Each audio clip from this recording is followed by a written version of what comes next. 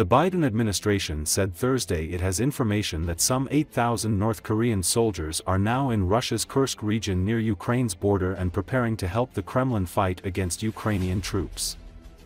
In a dramatic moment during a UN Security Council meeting, the deputy U.S. ambassador to the United Nations, Robert Wood, asked for more time to add to earlier comments condemning the increasing military cooperation between Russia and North Korea.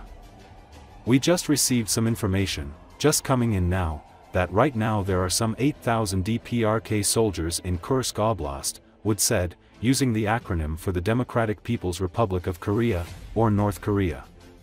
Kursk is a region that Ukrainian forces took by surprise in August. And I have a very respectful question for my Russian colleague. Does Russia still maintain that there are no DPRK troops in Russia? That's my only question and final point, he said. The Russian representative at the council meeting, which Russia called to discuss international peace and security, did not respond to the comment and the session was adjourned. After 980 days of Russia's full-scale invasion of Ukraine, in violation of the UN Charter, with all the death and destruction Russia has caused, Russia is today falsely trying to blame others for its war and for Putin's obstinance. Russia started this war. Russia could end it tomorrow. Until it does, Ukraine has an inherent right to defend itself and the international community can and must ensure Ukraine's borders are not redrawn by force. As I've said many times, Russia's disinformation fools no one. The real issue is not international support for Ukraine's defense. Russia is the aggressor. Ukraine is the victim. For Russia, war means conquest. For Ukraine, survival. The issue today is Russia's unlawful aggression against Ukraine and the countries that are dangerously fueling it. It is not hard to miss the irony of Russia calling this meeting just as 10,000 soldiers from the DPRK deploy in Russia to train and potentially join Russian forces against Ukraine. We heard yesterday the international community's serious concerns Russia may be planning to use DPRK soldiers against Ukrainian forces.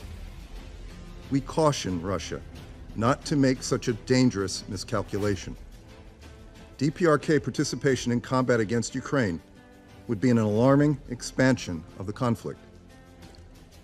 Already, the DPRK's troop deployment in Russia marks a dangerous expansion in Russian DPRK ties. Russia's actions with respect to the DPRK are not only dangerous, but they are antithetical to its responsibility as a permanent member of this UN Security Council.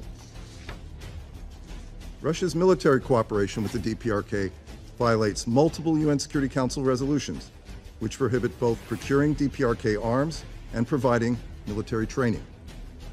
Specifically, Russia's training of DPRK soldiers involving arms or related materiel violates UN Security Council resolutions 1718, 1874, and 2270. We condemn in the strongest possible terms the path the Kremlin is taking with the DPRK. Moscow has shown the same contempt for this institution when it violated other UN Security Council resolutions by deepening military ties with Tehran. Iran has supplied the Kremlin with armed drones as well as close-range ballistic missiles undermining the security of Europe as well as the Middle East. Meanwhile, China continues to downplay its large-scale support for Russia's defense industrial base, providing materials key to Russia's defense production, including weapons components, UAV and cruise missile technology, machine tools, microelectronics, and nitrocellulose. PRC-based companies have even collaborated with Russian defense firms to design and produce long-range attack drones. China cannot credibly claim to be a voice for peace when it enables Russia to wage the largest war in Europe in decades. China's support to Russia is decisive. China's support is prolonging the war. China talks about creating conditions for peace. But China could quickly create those conditions by suspending the support to Russia. And I want to be clear it is not our intention to vilify or smear China. These are facts. Uh, I'm not going to respond to my Chinese colleague. I think I've been very clear. Uh, we just received uh, some information just coming in minutes ago that indicates that there are right now 8,000 DPRK soldiers in Kursk Oblast. And I have a very respectful question uh, for my Russian colleague. Uh, does Russia still maintain that there are no DPRK troops in Russia? That's my only question and my final point. Thank you.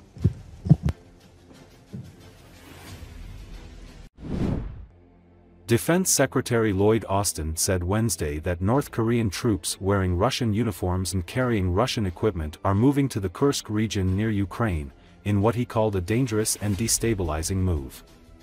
Austin was speaking at a press conference with South Korean Defense Minister Kim Yong-hyun, as concerns grow about Pyongyang's deployment of as many as 11,000 troops to Russia.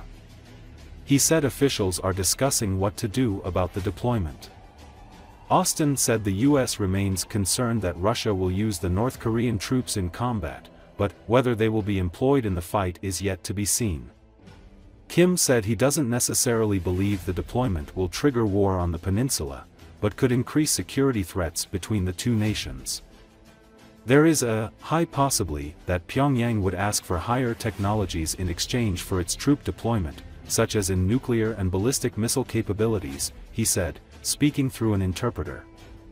Seoul and its allies assess that the number of North Korean troops now dispatched in Russia has increased to 11,000, according to a senior South Korean presidential official, who spoke on condition of anonymity during a background briefing. More than 3,000 of them are believed to have moved toward combat zones in western Russia, the official said, without specifying the locations. Some North Korean advance units of those troops have already arrived in Kursk, where Ukraine has successfully held territory after a surprise counterinsurgency in August.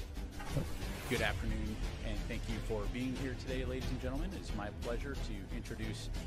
Now, we're closely tracking the unprecedented level of direct military cooperation between Russia and the DPRK.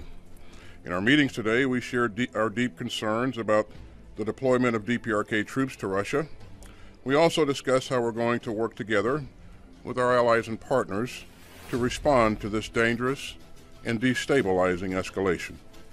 The evidence now suggests that North Korea has sent around 10,000 soldiers to train in eastern Russia. And some of these DPRK troops have already moved closer to Ukraine. And we're seeing them outfitted with Russian uniforms and provided with Russian equipment and I am increasingly concerned that the Kremlin plans to use these North Korean soldiers to support Russia's combat operations in, in Russia's Kursk region near the border with Ukraine.